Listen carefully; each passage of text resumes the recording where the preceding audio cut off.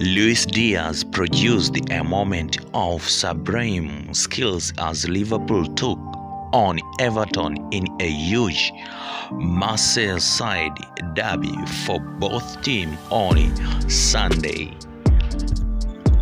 Diaz has hit the ground running since signing for Liverpool in January and has already become an integral part of their push for an historical quadra.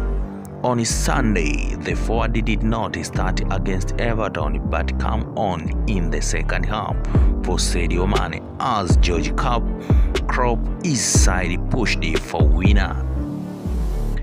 He came up with a moment of pure magic in a match that was generally more pragmatic and battering than beautiful, bringing the ball down with the most wonderful of touch.